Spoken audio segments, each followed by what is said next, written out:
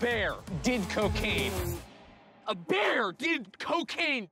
Hello friends मैं हूँ Jason Ravi सत्य और सिनेमा की आवाज़ और समरी ऑफ़ सिनेमा में आपका स्वागत करता हूँ। फ्रेंड्स आज हम कोकेन बेयर मूवी का रिव्यू करने वाले हैं आपके लिए, जो हाल ही में सिनेमा घरों में रिलीज़ हुई है। फ़िल्म में हमें Keri Russell Brooklyn Prince Christian Convery के साथ और भी बहुत सारे एक्टर्स देखने को मिलेंगे। लेजेंडरी एक्टर रे लियोटा की आखिरी फ़िल्म है ये। ये फ़िल्म एक ट्रू इवेंट के ऊपर आधारित है और जो रियल बियर था, उसको स्टफ़ करके आज भी म्यूज़ियम में रखा हुआ है और उसको नाम दिया है पैब्लो एस्को बियर फ़िल्म का प्लॉट बहुत सिंपल है। एक कोकेन से भरा हुआ एरोप्लेन ड्रग रन के लिए निकलता है, लेकिन जॉर्जिया के शहर में क्रैश हो जाता है। वहाँ पर एक भालू लगभग दो करोड़ की वैल्यू का कोकेन खा लेता है। एडिक्टेड होने के बाद और कोकीन पाने के चक्कर में फनी वायलेंस से भरी हुई जर्नी पे वो निकल पड़ता है। बीच में आने वाले हर इंसान को वो मार देता है। फ़िल्म में कुछ सब प्लॉट्स भी हैं, जहाँ पर अलग अलग जगह से लोग नेशनल पार्क की तरफ़ बढ़ रहे हैं उसके लिए। ऑब्वियसली आगे जाकर वो एक दूसरे से मिलेंगे और कैसे वो ये खतरनाक एपेक्स प्रिडेटर का सामना करेंगे, ये देखने के लिए आपको फ़िल्म देखनी पड़ेगी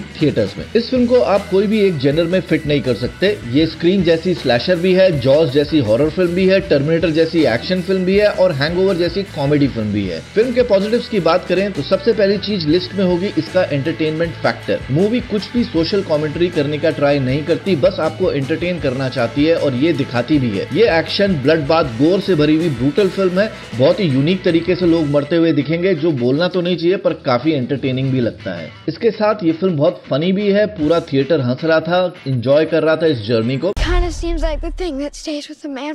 ये फ़िल्म की रीवॉचेबिलिटी वाला फैक्टर बहुत हाई है। आप बार बार ये फ़िल्म देख सकते हैं अपने फ्रेंड्स और कोलीग्स के साथ। फ़िल्म के नेगेटिव्स के बारे में बात करें तो वो होगा इसका प्लॉट जो काफ़ी फैला हुआ है। बहुत सारी चीज़ें फ़िल्म में फिट करने की कोशिश की गई है और इसलिए स्टोरी ढीली हो जाती है। कुछ कैरेक्टर्स को ऐसे ही रखा हुआ है ताकि उनको आगे मार पाए। फ़िल्म में जहाँ जहाँ पर हमें बियर दही देखने को मिलता, वो सीन्स हमें ड्रैग लगने लगते हैं बोरिंग लगने लगते हैं। और फाइनली कुछ की मोमेंट्स और प्लॉट पॉइंट्स को प्रोड्यूसर्स ने ट्रेलर में ही रिवील कर दिया है, जिसकी वजह से फ़िल्म काफ़ी प्रिडिक्टेबल लगने लगती है। ओवरऑल लेकिन अगर इन कुछ फ्लॉस को ओवरलुक करें तो ये फ़िल्म औसम है और जानबूझकर ये फ़िल्म अपने आप को सीरियसली नहीं लेती।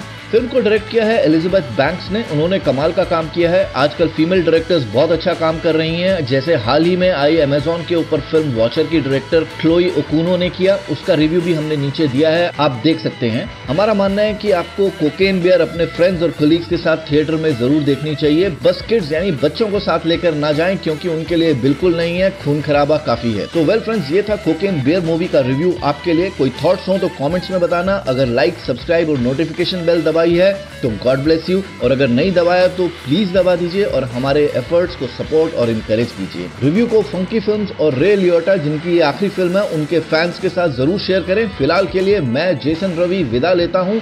थैंक यू शुक्रिया और जय हिंद।